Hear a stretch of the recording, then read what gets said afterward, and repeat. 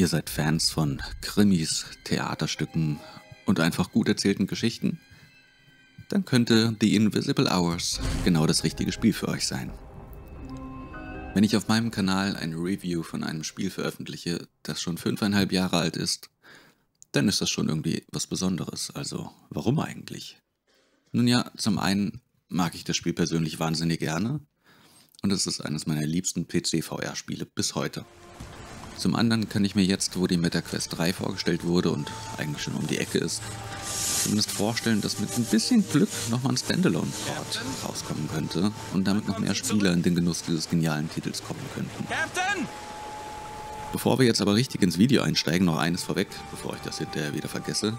Wenn ihr Lust habt, dass ich dieses Spiel mal in einem Livestream anzocke und euch zeige, schreibt es einfach mal in die Kommentare. Dann gucke ich, wie ich das einrichten kann. Aber was ist denn nun The Invisible Hours? Im Kern handelt es sich um tatsächlich ein Theaterstück, bei dem ihr einen für die Schauspieler unsichtbaren Zuschauer spielt.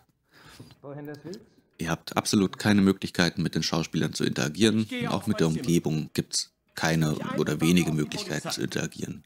Maximal ist es euch erlaubt, euch Gegenstände in eurer Nähe genauer anzuschauen. Ich dachte, Sie wollten etwas. Eure Aufgabe ist es, euch einen Reim aus dem Mord an niemand Geringerem als den berühmten Nikola Tesla zu bilden. Ich hatte eine Eingebung. Was zu den Verdächtigen gehören unter anderem der nicht minder berühmte Erfinder Thomas Edison, ein zuvor bereits verurteilter Mörder, ein ehemaliges Hausmädchen von Nikola Tesla und noch einige andere. Alle sieben Hauptpersonen wurden von Nikola Tesla auf seine Insel eingeladen. Es dauert nicht lange, bis er herausfindet, dass Tesla scheinbar gegen jeden von ihnen etwas in der Hand hatte, um sie dazu zu bewegen, auf die Insel zu kommen. Und gleichzeitig scheint jeder der sieben Hauptpersonen einen Groll gegen Tesla zu hegen. Doch nichts ist so, wie es scheint, und ihr findet schnell heraus, dass die Geschichten der Charaktere deutlich komplexer und vielschichtiger sind, als zunächst angenommen. Mein Freund? Es gibt unzählige Motive und unzählige Rätsel, die es zu lösen gilt. Dann wird das nichts bringen. Aus welchen Gründen hat Tesla all diese Leute überhaupt eingeladen? Und wie stehen die Personen zu Tesla? Welche Beziehungen haben sie untereinander? All das können wir herausfinden, indem wir aufmerksam sind, Menschen lauschen oder ihnen folgen. Im ganzen Haus sind Hinweise versteckt, die wir uns anschauen können. So können wir Seite für Seite Nikola Teslas Tagebuch finden oder Zeitungsberichte über die von Tesla eingeladenen Gäste. Fotos, die uns mehr über die Vergangenheit berichten und Puzzleteile für das große Ganze bilden. Der besondere Twist des Spiels ist aber, dass ihr als Zuschauer die Macht habt, euch auf der Bühne des Theaterstückes frei zu bewegen. Ihr könnt während der ganzen Spielzeit sein, wo ihr wollt. Zur gleichen Zeit passieren an unterschiedlichen Stellen unterschiedliche Dinge. Um nichts davon zu verpassen, könnt ihr jederzeit die Zeit umkehren oder vorspulen. Natürlich hat die Fähigkeit auch ihre Grenzen. Wir können zum Beispiel nicht bis zum Zeitpunkt des Mordes an Tesla zurückspulen. Das wäre ja auch irgendwie zu einfach.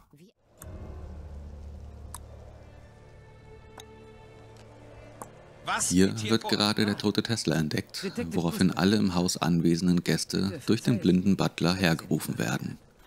Ich bin Augustus Vanderberg, Marcus Vanderbergs Sohn. Marcus Vanderberg, der berühmte Eisenbahnmagnat. Ich muss hier weg. Ich muss hier schnellstens raus. Niemand verlässt den Raum. Nein, ich muss hier weg. Nachdem jedoch draußen vor dem Haus ein mysteriöser Mann aufgetaucht ist und bei seiner Entdeckung sofort die Flucht ergreift, schnappt sich Herr Gustav die Pistole und verfolgt diesen.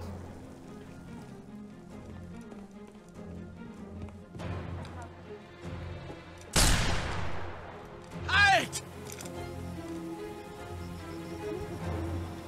Umdrehen!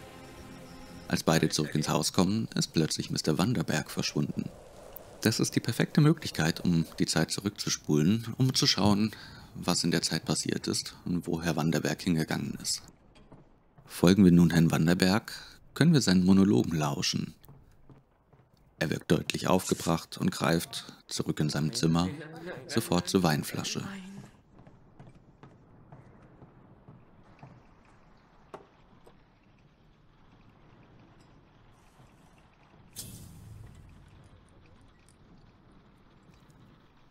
Doch was ist das? Laudanum. Eine Opiumtinktur, die noch bis ins frühe 20. Jahrhundert beinahe als Allheilmittel angepriesen wurde, aber auch gerne als Droge missbraucht wurde, bei Überdosis jedoch auch zum Tod führen kann. Was hat er mit der Flasche vor? Ist er selber abhängig oder krank? Oder ist er unser erster Tatverdächtiger? Aber welches Motiv hätte er? Dann wäre da aber auch noch Thomas Edison, der begnadete Erfinder. Wer sind Sie? Im Haus können wir einen Brief von Tesla an Edison finden, in dem Tesla ihm vorwirft, dass Edison eine seiner Erfindungen nur geklaut haben soll und sich der eigentliche Erfinder daher das Leben genommen haben soll. Tesla erpresst ihn, auf die Insel zu kommen, da er dieses Geheimnis sonst mit der Welt heilen werde. Edison hätte also definitiv ein Motiv. Aber war er es wirklich? Das Spiel nimmt euch zu keiner Zeit an die Hand und es wird nichts von alleine aufgelöst.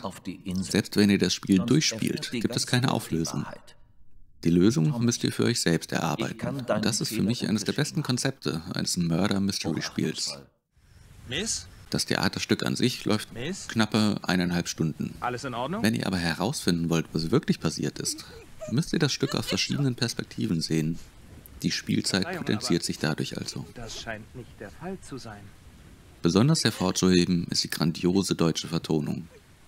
Würden Sie mir Selbst die Zeitungsberichte, Tagebucheinträge und anderen Texte, die ihr findet, werden auf Knopfdruck vorgelesen. Das verleiht dem ganzen Spiel zusätzliche Atmosphäre. Natürlich merkt man im Spiel aber auch an, dass es etwas in die Jahre gekommen ist. Die Grafik insgesamt ist zwar immer noch gut, aber kein Vergleich mehr mit aktuellen Titeln. Ganz genau, ja. Wir werden nicht auf Gustav Gustavs Schutz offen. Auch die Komforteinstellungen sind stark begrenzt. Es gibt keine Möglichkeit, sich frei zu bewegen, es gibt nur eine Teleportfunktion. Auch freies Drehen ist leider nicht möglich, was ich durchaus vermisse. Die Musik allerdings ist zeitlos gut und passt immer wunderbar zur Szene. Wie zuvor schon gesagt, ist The Invisible Hours eines meiner Lieblings-VR-Spiele. Und das hat sich seit dem Release nicht geändert. Das Konzept ist einfach grandios. Man muss seinen Grips wirklich anstrengen, um herauszufinden, was passiert ist. Aber vor allem ist es ein grandios inszeniertes Theaterstück. Ich hoffe tatsächlich, dass es vielleicht noch einen Quest 3 Port geben könnte, auch wenn nichts dergleichen bisher angekündigt ist. Aber wie sieht es bei euch aus? Habt ihr es schon gespielt? Und falls ja, wie fandet ihr es? Und an alle anderen, die es noch nicht gespielt haben, gebt dem Spiel trotz des Alters doch nochmal eine Chance. Es lohnt sich definitiv. Falls euch das Video gefallen hat, gebt mir doch noch einen Daumen nach oben oder ein Abo, das hilft mir wahnsinnig. Wenn ihr Fragen oder Anregungen habt oder ihr mir einfach irgendwas mitteilen wollt, schreibt es einfach in die Kommentare. Und nochmal eine kleine Erinnerung, wenn ihr möchtet, dass ich das Spiel mal im Livestream spiele, damit ihr euch das mal anschauen könnt, schreibt es in die Kommentare. Dann machen wir das demnächst. Bis zum nächsten Video.